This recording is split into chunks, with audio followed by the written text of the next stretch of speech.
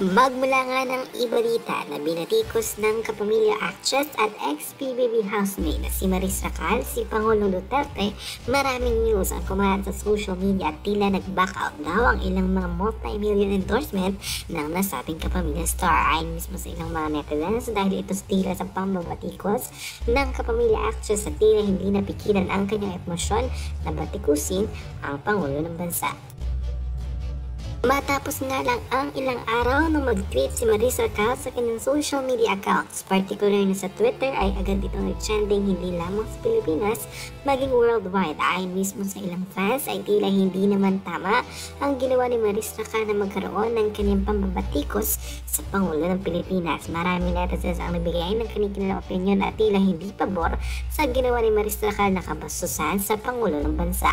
Ayon mismo sa mga netizens, deserving si Marisa Cal sa lahat lahat ng kanyang ginawang pambabatikos kay Presidente Duterte at tama lang daw na matanggalan ng ilang mga multi-million projects at endorsement at talaga namang umani ito ng samot sa reaksyon sa mga netizens. Patuloy dito, kanina nga ay nag-trending worldwide ang hashtag boycott Maris Racal matapos ngang maging trending topic sa social media magpasa hanggang ngayon ang naging tweet nito patungkol sa pagkakaroon niya ng hindi magandang komento kay Pangulong Duterte. Narito ang komento ng mga netizens sa social media accounts.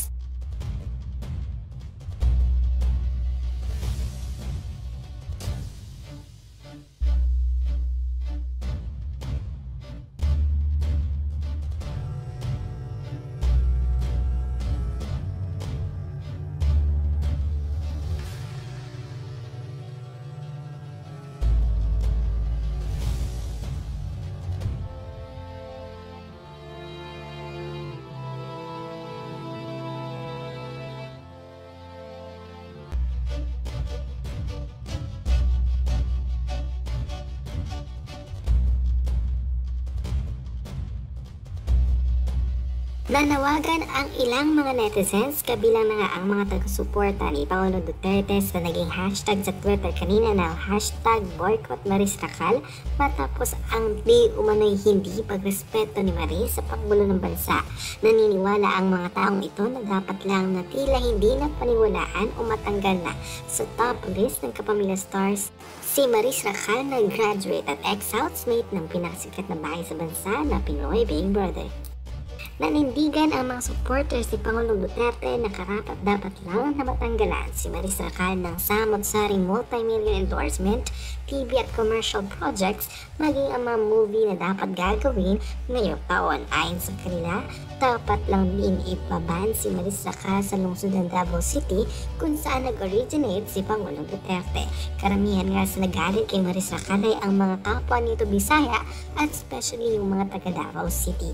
Kaya't maging ang ilang mga relatives ng Pangulo ay nagpahayag na kinikilang pagsuporta at bumatikos rin sa kapamilya actress na si Maris Racal matapos bastusin ang Pangulo ng Pilipinas. Ayon mismo sa ilang netizens, confirm na talaga namang pumapabor sila na matanggalan na si Maris Racal ng ilang multi-million projects at tila wag nang suportahan ng ilang mga Bisaya at mga taga Davao City dahil sa pambabastos sa Pangulo. Sana daw ay pagsisihan ni Maris Racal ang kanyang ginawa Hanggang hindi pa huli ang lahat sa naging balita na ito, ano ang iyong maging opinion? Just comment below.